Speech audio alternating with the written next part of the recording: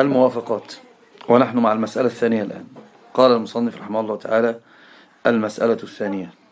فيقال إن الإباحة طبعا الإباحة كما قلنا المباح الذي استوى طرفه والحلال الذي استوى طرفاه يقال إن الإباحة بحسب الكلية والجزئية تجذبها الأحكام البواقي فالمباح يكون مباحا بالجزء مطلوبا بالكل على جهة الندب أو الوجوب. هي المسألة على مسألة التلازم ومسألة الاستمرارية ومسألة أيضا الوسائل. نعم. ومباحا بالجزء منهيا عنه بالكل على جهة الكراهة أو المنع. يبقى هو هنا شوف تكلم عن المباح وقسمهم أقسام. القسم المباح بالكلية والمباح قد يكون مباحا بالجزء لكنه عند النظر إلى الكل يكون مطلوبا مندوبا إلى طلبه محسوسا عليه.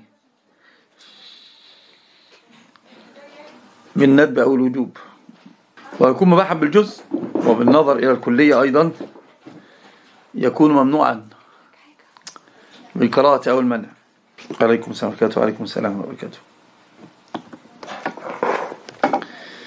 إذا عندنا الأقسام أربعة. الآن. عندما عندنا الأقسام أربعة. القسم الأول التمتع بالطيبات هذا مباح من من كلية الوجوه. فالتمتع بالطيبات التي جعلها الله جل في مباحا وحلالا لعباده كالمآكل والمشارب والمراكب والملبس فهذا كله مباح من كلية الوجه. قال والمندوب والمطلوب في محاسن العبادات أو المكروه في محاسن العادات كالإسراف فهو مباح بالجزء. يبقى إذا إذا كان مطلوبا في محاسن العادات يكون مندوب وإن كان يعني ممنوعا في محاسن العادات يكون مكروها. كالإسراف فهو مباح بالجزء فلو ترك ترك بعض الأوقات مع القدرة عليه لكان جائزا كما لو فعل فلو ترك جملة لكان على خلاف ما ندب الشرع إليه. في الحديث إذا أوسع الله عليكم فأوسعوا على أنفسكم وهذا الحديث آه، راه البخاري ليرى الله أن أثر النعم عليه. إذا وسع الله عليكم فأوسعوا. حسب ما كان فعل الله معكم عاملوا عباد الله تعالى بذلك. إن الله يحب أن يرى أثر نعمته على عباده. إن الله يحب أن يرى أثر نعمته على عباده. وحديث صحيح. وعندما أكرم شعره وألبس ثيابا طيبة قال النبي صلى الله عليه وسلم أليس هذا أحسن؟ وقوله إن الله جميل يحب الجمال. بعد قول الرجل أن الرجل يحب أن يكون ثوبه حسنا ونعله حسنا هذا من الكبر؟ قال النبي صلى الله عليه وسلم إن الله جميل يحب الجمال. فهذا مباح للجزء. فلو تركه الجميع لا يستوي الطرفان. لو تركه الجميع لكان مكروها. لكن ممكن أنا أسألكم كيف تكون الوجهة الفقهية؟ يعني لو ترك حسن الهيئة الجميع لكان مكروها. وش الوجهة الفقهية على الكراهة هنا؟ إماتة السنة إحنا قلنا إن هو أصله مباح أصله مباح. ترك شعيرة من من هذه المسلمين. ممتاز يا نعيم. ترك شعيرة من هذه المسلمين. هذا هذا جيد جدا. وأيضا فيها مخالفة لمقاصد الشريعة. أيضا فيها مخالفة لمقاصد الشريعة. فمن مقاصد الشريعة بيان محاسن التشريع. من مقاصد الشريعة بيان محاسن التشريع. ومنها أن الله جميل يحب الجمال. نعم ممتازين. طيب والثاني كالأكل والشرب ووطء الزوجات والبيع والشراء ووجوه الاكتساب الجائزة. قوله تعالى وأحل الله البيع وحرم الربا وقوله أحل, وأحل لكم صيد البحر وطعامه أيضا قوله أحلت لكم بهيمة الأنعام كثير من ذلك كل هذه الأشياء مباحة بالجزء. إذا اختار أحد هذه الأشياء على ما سواها فذلك جائز.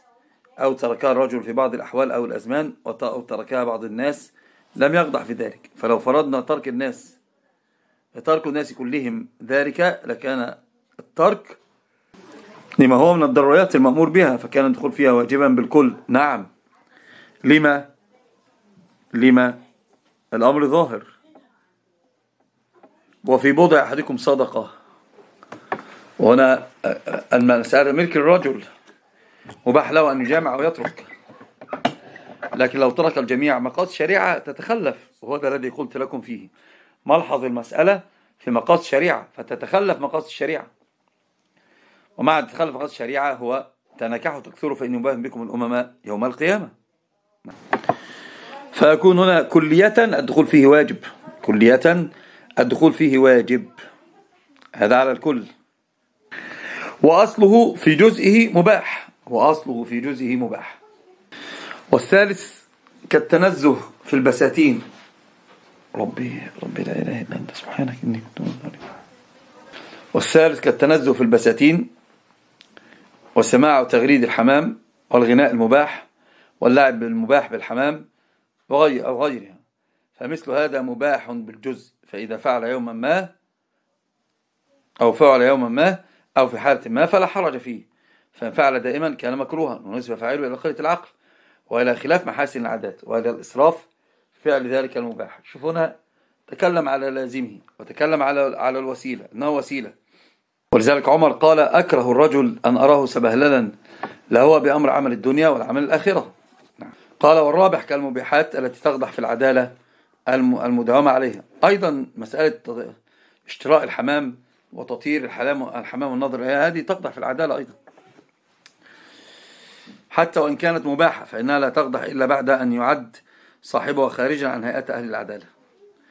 ويجرى, وأجري صاحبها مجراء الفساق فإن لم يكن كذلك وإن لم يكن كذلك. ومع ذلك إلا ذنب اقترفه شرعا. وقد قال الغزالي إن المداومة على المباح قد تصيره صغيرة. وهذا أيضا كلام عاري عن الصحة. هذا كلام عاري عن الصحة وعاري أيضا عن الدقة. أن المباح الأخذ بالمباح والاستدامة عليه يصيره إلى صغيرة. سنجره جرا إلى اللوازم. والصغيرة إذا استدام عليها صاحبها تجره إلى الكبيرة تكون كبيرة. والكبيرة إذا استمر عليها صاحبها كانت كفرا وهذا لا يلتزم به لا الغزالي ولا غيره.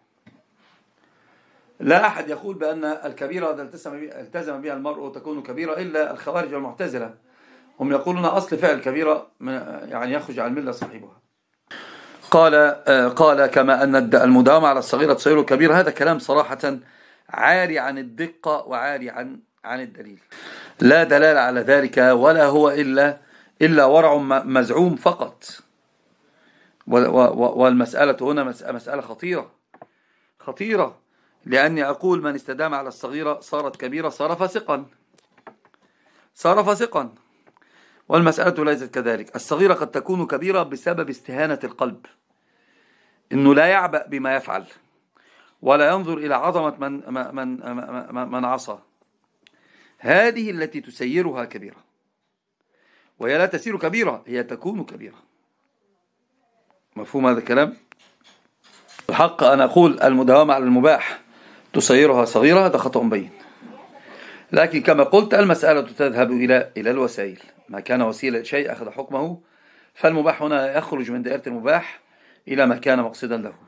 فتكون الوسائل لها أحكام المقاصد من هذا المنظر من هذا المنظور آسف من هذا المنطق فقط. ومن هنا قيل لا صغيرة مع الإصرار. ومن هنا قيل قيل هنا ده يقصد به حديث ابن عباس لا صغيرة مع إصرار ولا كبيرة مع مع استغفار. والحديث فيه كلام. الحديث لم يصح. حديث لأبي هريرة فيه أبو شيبان الخراساني. منكر الحديث. حديث ابن عباس وحديث لأبي هريرة أيضا أخرجه الطبراني. فيه مبشر بن عبيد وهو أيضا متروك. فهذا الحديث لم يصح. حديث لا صغيرة مع صغيرة كبيرة مع استقباء مع, مع فلا يصح. لا يصح هذا الحديث. قال المصنف فصل إذا كان الفعل مندوبا بالجزء كان واجبا بالكل. واجب على الكفاية أو على العموم أو على العيان يعني. إذا كان مندوبا بالجزء كان واجبا بالكل. وهذه نظرة أخرى. مثلها مثل الأذان. لأنه شعيرة من شعائر الإسلام. مثلها مثل إقامة الصلاة. هي مندوبة بالجزء لكنها تكون كما قلنا بالكل واجبة. كالأذان في المساجد والجوامع وغيرها وصلاة الجماعة وصلاة العيدين التطوع والنكاح والوتر والفجر والعمر وسائل نوافل الرواتب فإنها مندوب إليها بالجزء. لو فرض ترك تركها جملة لجرح التارك لها. لما؟ لأنه ترك شعيرة من شعائر الإسلام. بل بل قال الفقهاء ولي الأمر يقاتلهم عليها. لو تركوا الأذان شعيرة من شعائر الإسلام جماعة لهم شوكة يقاتلهم ولي الأمر عليها. ألا ترى أن في الأذان إظهارا لشعائر الإسلام؟ ولذلك يستحق أهل مصر القتال إذا تركوه. نعم. وكذلك صلاة الجماعة من داوم على تركها يجرح فلا تقبل شهادته وهذا على القول بوجوبها وهي ليست بواجبة عند الأئمة الثلاثة. نعم. لكن في تركها لو كان المجموع في تركها مضادا لإظهار شعائر الدين. قد توعد الرسول صلى الله عليه وسلم من داوم على ترك الجماعة فهم أن يحرق عليهم بيوتهم كما كان عليه السلام لا يغير على قوم لا يغير على قوم حتى يصبح. فإن سمع أذانا أمسك وإلا أغار والنكاح لا يخفى على ما فيه مما هو مقصود للشرع أيضا من تكثير النسل. فالترك كلية هذا يأثم به صاحبه. نعم. وإبقاء النوع الإنساني. وما أشبه ذلك فالترك لها جملة جملة مؤثرة في أوضاع الدين. فإذا كان دائما أما إذا كان في بعض الأوقات فلا تأثير له فالمحظور. إذن هو عاملهم بإيش؟ كما قلت قبل ذلك فالنظر هنا نظر إلى على الوسيلة؟ هو وسيلة لإيش؟ نعم.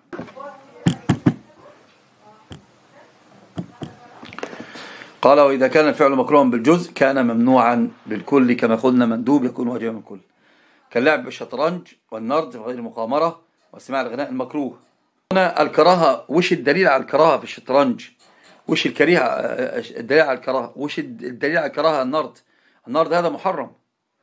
طبعا هو في قولي والنرد غير بغير مقامرة هو يتكلم على مذهبي الذي يتمذهب به. هذا كلام المالكية. وهذا لا يصح لأنه هذا إبطال للحديث والحديث ظاهر جدا من لعب بالنرد أو شيء فكأنما وضع يده في دم خنزير فقد عصى أبا القاسم. أما الشطرنج الحديث الذي جاء عن ابن أبي طالب حديث ضعيف لم يصح. هذه التماثيل التي أنتم لا عاكفون هذا هذا حديث ضعيف لم يصح. طبعا سماع الغناء المكروه الذي يتكلم عنه بالمعازف يعني. فإن هذه الأشياء إذا وقعت على غير مداومة لم تقضح في العدالة فإن داوم عليها قضحت في عدالته وذلك دليل على المنع بناء على الأصل الغزالي وهذا كلام أيضا فيه نظر. هذا كلام ليس بصحيح.